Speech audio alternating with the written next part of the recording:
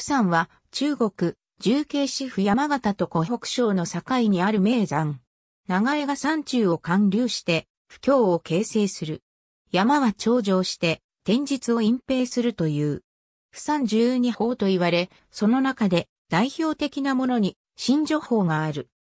釜山は四川盆地の東半部に多数並行して走る、終極山脈の中でも最も大きく最も東にある山脈で、四川盆地の北東の境界に、北西から南東へ走る終極山脈の大友江山脈へと合わさってゆく。長さは 40km 余り、主砲のカラス運長は海抜2400メートルに達する。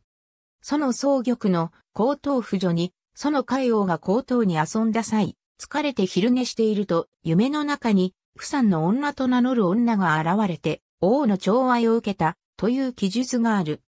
彼女は、立ち去る際、王に、私は、釜山の南の、険しい峰の頂に住んでおります。朝は、雲となり、夕べは、雨となり、朝の夕な、この老大のもとに参るでしょう、と告げた。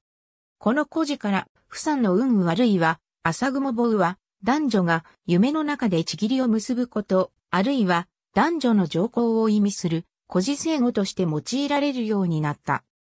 なお、雲坊沢は、現在の湖北省武漢市から慶州市にかけての超高北岸一帯にあった小宅地で、釜山とは離れすぎているため、この府の舞台は現在の釜山ではなく、現在の湖北省間川市の南方である、とする説もある。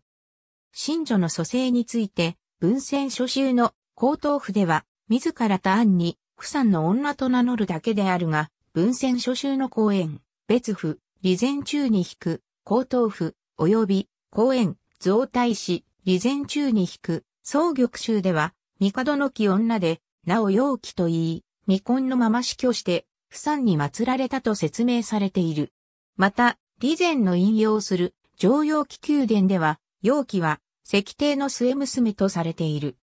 古代の伝承であるが、五色の森光庭の上州戦読では、雲花婦人こと陽気は、聖王母の第23女で、うの記載となったとされる。